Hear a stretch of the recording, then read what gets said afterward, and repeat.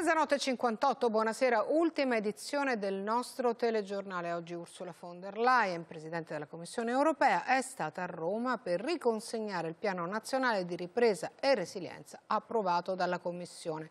È stata ricevuta in un luogo importante e simbolico per l'Italia e per la nostra cultura, Cinecittà. È un giorno di orgoglio, dice Mario Draghi, l'opportunità di una vita, ribatte Ursula von der Leyen.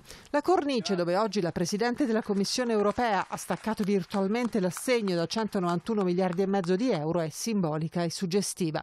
Cinecittà, la fabbrica del cinema, simbolo di un sogno a portata di mano, con stime di crescita del 2,4% e la creazione di almeno 240.000 nuovi posti di lavoro.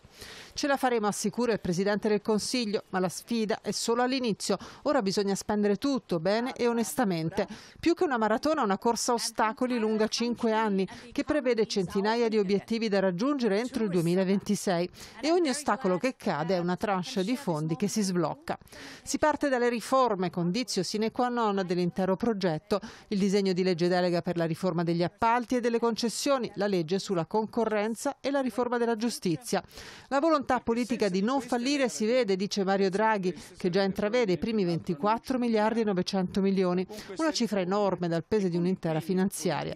Qui negli anni del dopoguerra il nostro cinema raccontava prima la vita di stenti delle famiglie, poi una crescita prodigiosa. Io spero che questa sia l'alba della ripresa, una ripresa significativa, duratura, con al centro l'inclusione sociale e la sostenibilità, dice Mario Draghi, che non dimentica i giovani e le donne, il futuro di un'Italia in trasformazione all'insegna dell'innovazione tecnologica. L'Italia ha firmato all'ultimo momento una lettera voluta da 13 Paesi membri dell'Unione Europea contro l'Ungheria che condanna questa lettera la nuova legge voluta da Orban contro la cosiddetta propaganda gay verso i minori. È successo in Lussemburgo al Consiglio europeo per gli affari generali dove si attendevano chiarimenti sulla legge che discrimina in base agli orientamenti sessuali con la scusa di proteggere i bambini. Chiarimenti che dall'Ungheria non sono arrivati e che hanno spinto i 14 a scrivere una condanna verso un paese che, come ha detto anche von der Leyen, sembra allontanarsi sempre di più dai valori europei. Intanto la Commissione sta analizzando il testo per valutare se questa famosa legge sia oppure no in regola con il diritto europeo. È stata consegnata lo scorso 17 giugno, ma si è saputo solamente oggi, una nota definita informale da parte del Vaticano che chiede di rimodulare alcuni punti del disegno di legge ZAN. La legge che è stata approvata a novembre alla Camera è ancora ferma al Senato, ha spaccato i partiti e lo stesso deputato ZAN ha detto che quanto è accaduto è stata una forzatura, lo ha detto stasera al nostro telegiornale. Il Vaticano prende ufficialmente posizione sul disegno di legge Zan contro la omotransfobia e affida ad una nota il suo intervento, sostenendo che la nuova normativa potrebbe violare il concordato tra Stato italiano e Santa Sede del 1929, rinnovato nel 1984. Nel testo si spiegano le ragioni secondo le quali la Chiesa chiede al governo di intervenire per una rimodulazione del disegno di legge ora in discussione in Senato per renderlo compatibile con quanto stabilito dal concordato. Mario Draghi dovrebbe parlarne proprio domani nel corso del suo intervento in aula in visto del Consiglio europeo, anche se la questione posta dalla Santa Sede, si fa notare a Palazzo Chigi, è prettamente parlamentare. Intanto sul disegno di legge Zan nella maggioranza seguiscono le tensioni dopo l'intervento del Vaticano. Se il segretario del PD difende il testo e aggiunge aspettiamo di vedere la nota del Vaticano e di leggerla con attenzione, per il centrodestra l'iniziativa d'Oltretevere è una conferma alle proprie critiche verso il DDL. Ad iniziare da Salvini che da settimane fa ostruzionismo al Senato a colpi di audizioni infinite e ora chiede una revisione del provvedimento. Dalla sinistra e dal Movimento 5 Stelle nessun dubbio a definire un'ingerenza alla nota vaticana. Il deputato Zanna, ospite del nostro TG, difende la sua proposta e dice c'è stata una forzatura da parte del Vaticano, non ci sono obblighi, ma si prevede solo la possibilità di creare programmi scolastici contro le discriminazioni, non solo sessuali. Pensiamo al bullismo. Ieri dopo il via libera del CTS il ministro Speranza ha confermato poi annunciato che da lunedì prossimo non sarà più obbligatoria la mascherina all'aperto, dalla prossima settimana tutti in zona bianca, mancano solamente le discoteche, i locali da ballo, probabilmente potrebbero riaprire ai primi di luglio osservando però determinate regole, Green Pass, tracciamento e contenitori per pasti e bevande monouso.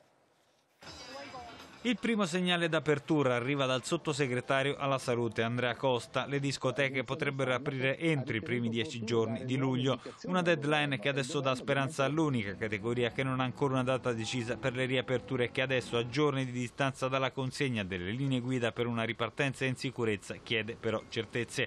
In pista solo col Green Pass, tracciamento di tutti gli ingressi, contenitori monouso per le bevande, le regole per il ritorno delle sale da ballo con il 4 luglio il primo weekend in un'Italia che sarà tutta in zona bianca, Val d'Aosta inclusa, come data chiesta dai gestori. Sul tema dovrà però dare il suo parere il comitato tecnico-scientifico che ieri di fatto ha risposto alla richiesta del governo sull'uso delle mascherine all'aperto.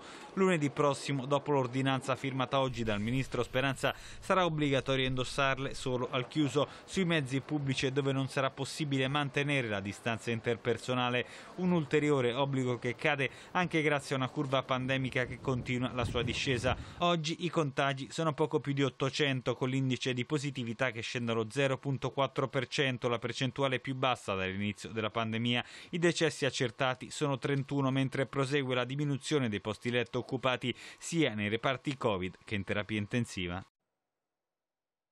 Ci sono paesi invece dove il virus continua a correre e a colpire. Uno di questi paesi è il Brasile, finora sono morte più di mezzo milione di persone.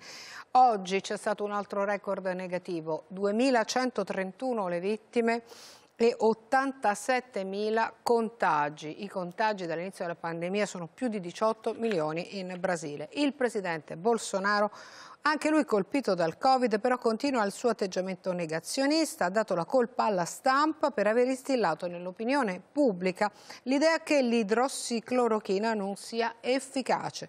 Dopo essere stato attaccato duramente dai giornali per aver tentato di raggiungere l'immunità di gregge attraverso una sorta di selezione naturale, Bolsonaro ha perso la calma, ha insultato i giornalisti accusandoli di comportarsi come gestori di pompe funebri che vanno in estasi davanti ai milioni di morti.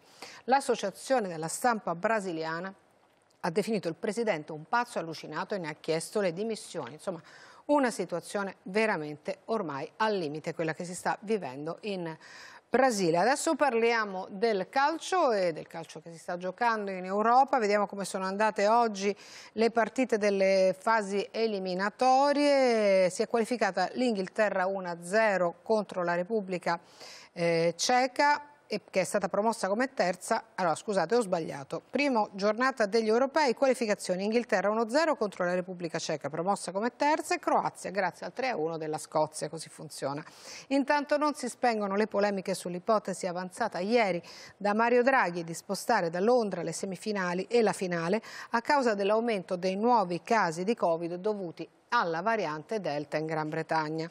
Anche Angela Merkel ha espresso preoccupazione e ha invitato Boris Johnson alla prudenza, ma il governo britannico ha confermato che si giocherà a Wembley, anzi ha rilanciato.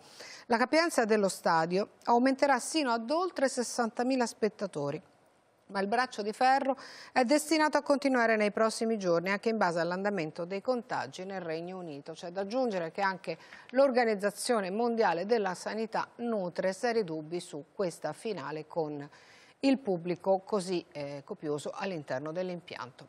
È l'una e sette, noi ci fermiamo qui, l'informazione come sempre torna domattina, arrivederci, buonanotte.